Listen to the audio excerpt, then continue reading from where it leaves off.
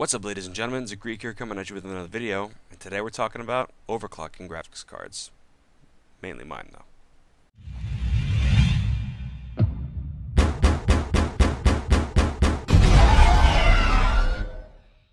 So as I said, today we're overclocking my graphics card like I promised you in the last video. Now, things you should know about me. I'm not an expert overclocker like some other people you might know. But overclocking has become relatively easier as of, you know, the past couple years um, when it comes to graphics cards. I'm not saying it's incredibly easy, but it's it's somewhat easier because you have Catalyst software for AMD where you, all you have to do is just type in a couple numbers if you really want or just move the slider, that's it. Uh, NVIDIA has a GeForce experience where you can do the same thing. And uh, it's not as difficult as overclocking a CPU. They're, honestly, they're both not that easy. Uh, the only problem with the CPU is that if you overclock from the BIOS and you don't use software like um, like AMD Overdrive or I don't know what else you could use, but um, for me AMD Overdrive, uh, you have to you know restart the computer and start it up again. If you don't have a solid state drive, it takes up a lot of time. And and a lot of, of a lot about overclocking is trial and error, trial and error, trial and error, and that's why it takes so long to overclock and get a good working stable overclock, whether it's your CPU or your GPU. And like I said before, I'm not really a master overclocker, so you know most of the time I'm just winging it, and that's exactly what we're going to be doing today. So I'm going to get to it, and uh, I'll see you on the other side. Alright guys, so it's been quite some time now I've been going at this, and uh, if anyone ever tells you that overclocking a graphics card or a processor is easy, it's not. Because it's a lot of trial and error, and it's a lot of just being like, oh, why won't this, you know, why won't this go above a certain voltage, or, yeah, or something. It's always something. So if anyone ever tells you that it's easy, it's not. Um, so we're going to talk about real quick is we're going to talk about stock versus overclocked. Now, I ran benchmarks at stock settings for a, baseline reference, and then I ran them at overclock. Now, I used two different programs to do the benchmarking. Uh, the main one that I used was the Unigine Heaven, and uh, it's a good benchmarker. It's a good program. I like it. It's free. It's pretty awesome.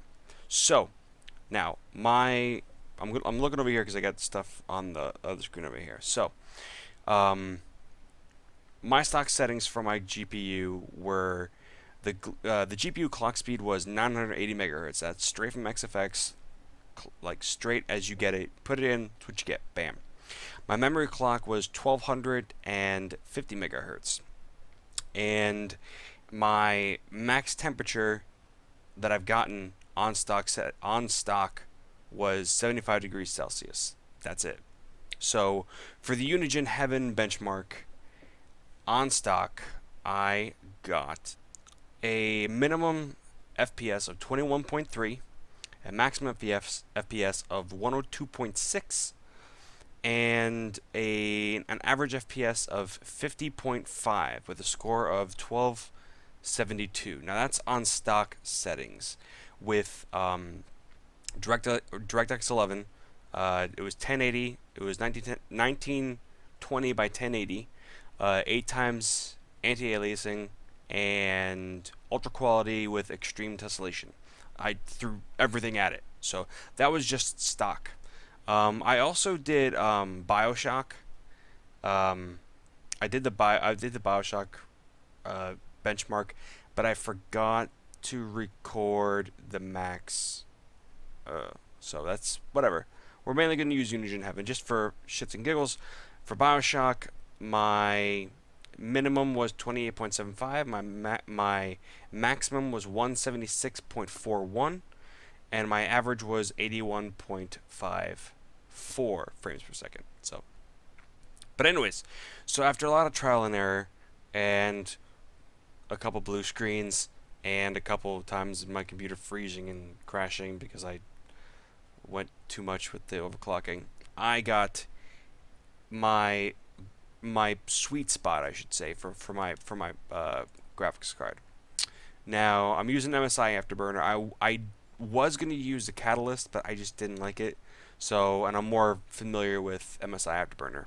MSI Afterburner, by the way, if you want to overclock your graphics card, is possibly the best program you can get because there's so much customization. It's it's awesome. Download it. I highly recommend it. it works with every graphics card. So, um, I left the voltage the way it is. Um, like I said, I'm not that good at overclocking, so I left the voltage just where it is. It's not up, it's not overvolted, it's not undervolted, nothing. It's just stock the way it is. Um, I raised the power limit to, to plus 30, so it's 30%. Uh, the core clock is 1100 megahertz, and the memory clock is 1375, which is a pretty decent overclock. Um, it's a full 120 megahertz over the stock clock, so pretty awesome if you ask me. And um, my Unigine Heaven benchmark, the best that I got, I gotta find it real quick. Here we go. Okay. I went from 50.5 FPS to 54.9. so that's the average FPS. My minimum FPS was 21.2, which is worse actually. And my maximum FPS is 112 flat with a score of 1382. And like I said, I did Bioshock, and I uh, I went back and looked for my results for my overclocking on the Bioshock.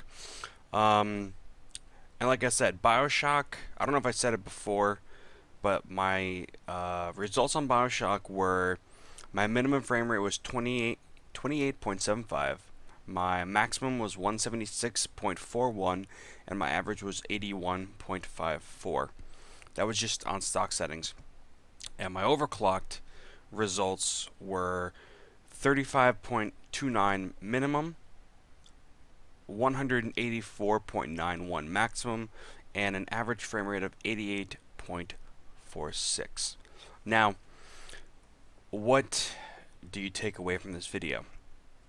um, you can expect advantages and some FPS gain to overclocking. You're not going to see 20, 30 FPS gains from overclocking. It's just it's just not going to happen. Um, some graphics cards will overclock better than others. I think I got a particularly decent graphic uh, overclocking card. And this isn't by any means the last time I'm going to be messing around overclocking with my GPU. Um, after this is over, um, I will go and you know uh, do some research on on voltage um, and look and see what more I can get out of it. Because honestly, if you're going to get a high-end graphics card like mine, or any graphics card at all, or a, a decent CPU, you should overclock it if you have the adequate cooling. Um, now, with the temperatures on my graphics card, um, the most that I ever saw the temperatures get up to was 78 degrees, um, and that was it. It it would it would hover between 75 and 78 degrees. It, I never saw it go higher, and um, and that's pretty good for an air cooled graphics card. Will I liquid cool it one day? Maybe, who knows. Um, but I'm very happy with this card. I'm very pleased with the performance, and it's just, it's an all-around solid card, and um, I love it. Really do. Really, really do. So that's it. Um, like I said earlier, I'm not the, I'm not an expert at overclocking.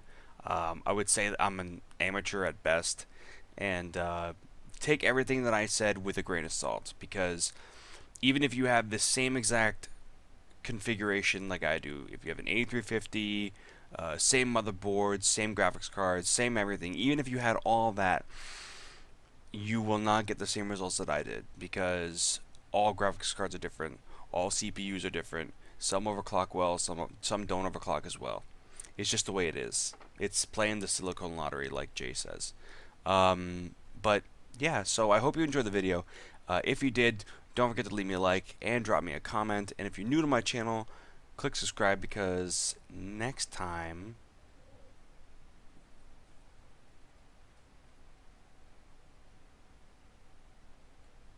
Shit just got real. Later, guys.